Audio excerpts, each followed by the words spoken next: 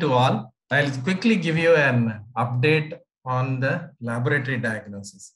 For most of you, it will be a sort of a revision, except for maybe a few points. Okay. So having said that, I proceed. So this is the recent diagram that has uh, come in the journal Pathogens, which gives a nice overview of the time course of leptospirosis and diagnostics. So as you can say, the incubation period can vary from 2 to 20 days. Leptospiremia is in the first week, followed by leptospiruria. So initially blood cultures and PCRs are positive in the bloodstream, plasma being the best sample. Then you have intermittent shedding, and then finally the uh, in the second week onwards, the immune response kicks in with the IgM peaking and then the IgG persisting for a longer time. So the lab diagnosis, basically, finally, whatever, however good the lab is, the sample makes the difference. It is like garbage in, garbage out. If it is a bad sample, we can expect a bad result. So having said that, blood we can take daily for culture in the first week. Best is a bedside inoculation, one to five drops in five to 10 ml. Urine second to sixth week, and we have to remember that it is not a uniform shedding, it's an intermittent shedding, both in the human humans and even in the animals, including the rodent host. CSF, body fluids and tissues are other samples in those rare cases where there is disseminated leptospirosis. And of course, the antibody detection is the fifth day onwards, and this is mostly the IgM ELISA. The MAT starts getting positive actually from the, the second week beginning onwards. And of course, we have molecular testing. The blood, the plasma sample is the best sample. And of course, urine once the second, the patient moves on to the second week of illness. So this is just a overview of the laboratory diagnosis. The direct methods are microscopy, culture, molecular methods, and the indirect methods, um, the microscopic agglutination test, the ELISA, and the rapid diagnostics. So microscopy requires a minimum amount of leptospires. It is easy to do if there is a, a, a dark field microscope around or if you have antibodies to detect the leptospira antigen by immunofluorescence. But you need at least 10 to the power 4 leptospires per ml. And this is how it looks. Though it looks easy, most of the time uh, we can get uh, confused with RBCs because especially the RBC membrane can give us a false positive. Immunofluorescence is better, but again requires uh, infrastructure and also the relevant specific antibodies to detect the leptospira antigen.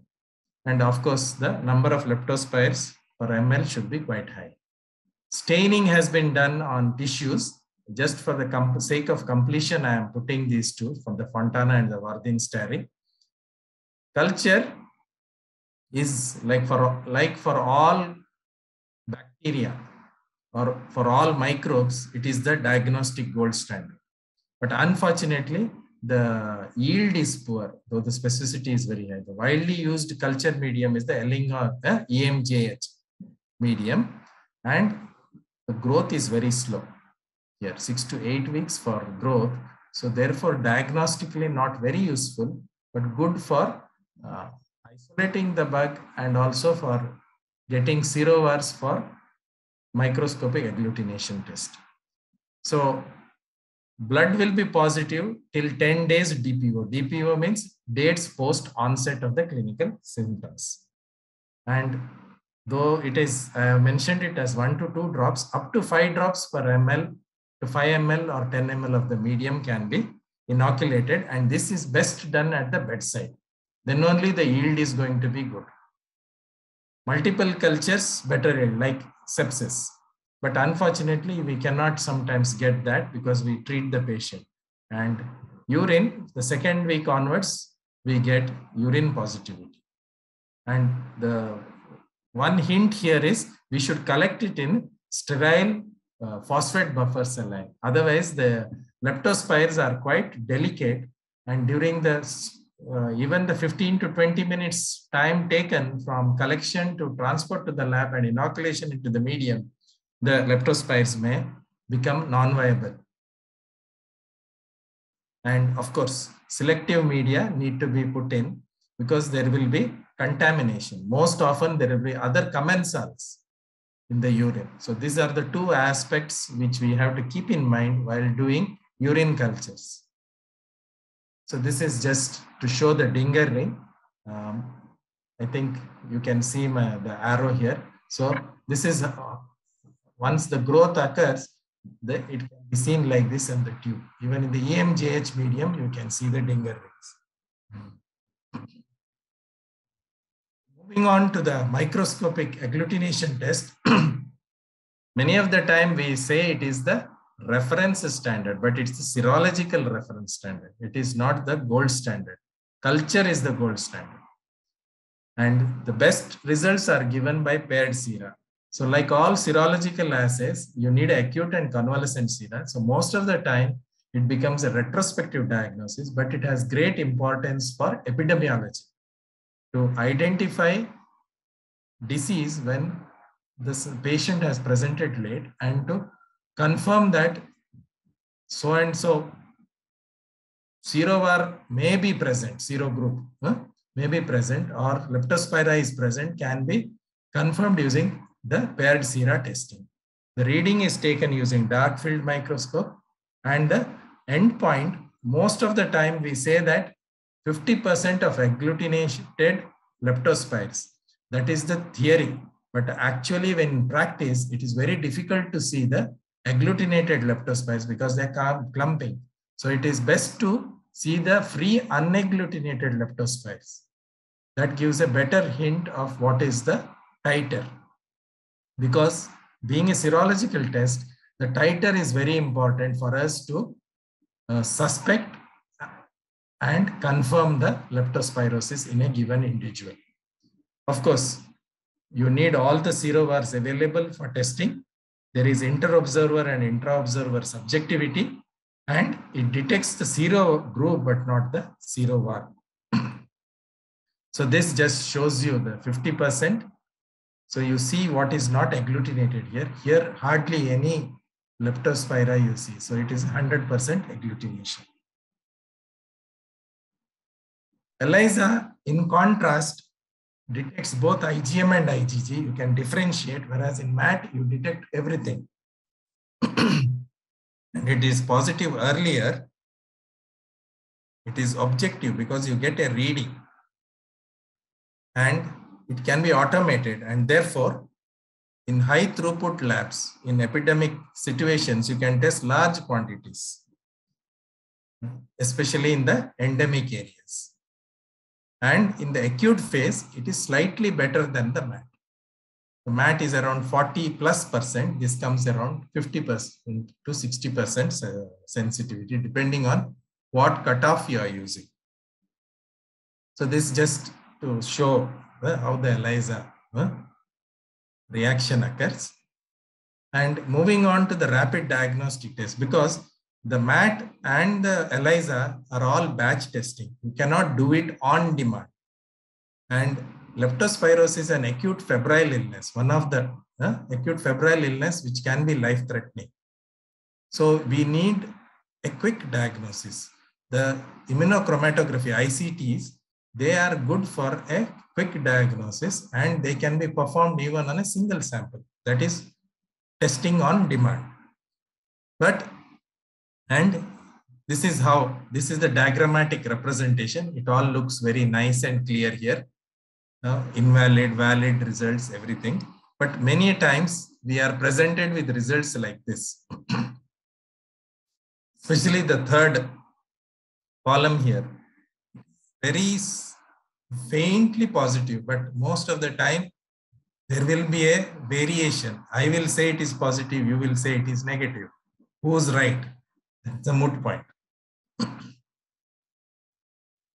we move on to PCR. Everywhere we are now enamored of molecular assays.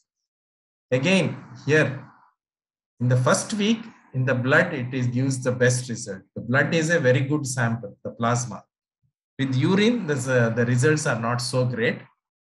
The common targets, some of the housekeeping genes, especially the SECY gene is thought to be good and the pathogen specific LIP-L32 gene, which is the outer membrane lipoprotein. And the SECY is the pre-protein translocase. It is one of the housekeeping genes. And a recent meta-analysis uh, says that the SECY gene PCR is the best PCR if we are going for a PCR diagnosis. But remember, PCR is dependent on the amount of sample and when the sampling has been done. After the first week, unlikely we are going to get positives because there is, there is no leptospiremia. Leptospiruria is intermittent and unless the sample is processed very quickly, we may not uh, get positives. So the main drawback is the inability to identify the infecting serovar, but this is not very important for us as far as clinicians are concerned. For treatment, this is not informed, important. We just want to know whether the patient has leptospirosis or not. So this is just to show you uh, the other assay which has been uh, pushed forward or is gaining also uh, importance is LAMP. In a PCR, you get a clear-cut band like as it is seen here. In LAMP, you get bands like this. So the standardization of the protocol by those who have developed the protocol becomes very, very important. Because when you see these bands, as you can see, here there are more bands, here there is less bands. These are all, so we know this was a PCR positive because we sequenced it. But uh, for those who are starting early and who, where there is no expertise, a LAMP assay sometimes is not so easy to interpret. So in before I conclude, I will just uh, put in two slides just to show that what is the sensitivity and specificity of the assays available. Culture, though the gold standard, the sensitivity is very poor, 3 to 28%. MAT, everything, if you see, has a variation. It all depends on what assay was used to compare when the testing was done, how the testing was done, what cutoff was used, etc. So there is a wide variation in this. So the sensitivity and specificity does not tell us much. So in the next slide, I am giving you some more information. So when we have variations in sensitivity and specificity, we should do our in-house studies and look at the positive predictive value and the negative predictive value. The positive predictive value is if the result is positive, is it, how sure are we that it is positive? If you can see all these, this, sorry. Hmm? Most of these assays have quite a good positive predictive value. But when they are negative, they are, we are not sure they are truly negative. Except the PCR and the RDT gives us a reasonably good negative predictive value, 90. So, in uh, so this is what ha has been suggested that combining PCR and RDT, a rapid diagnostic test, which has been well validated and we know is working well in those individuals where other causes of acute febrile illness have been ruled out, then we can use these assays because uh, more than the test result coming positive, we should know that what is the value of the negative result. So with this, I conclude my talk. Thank you.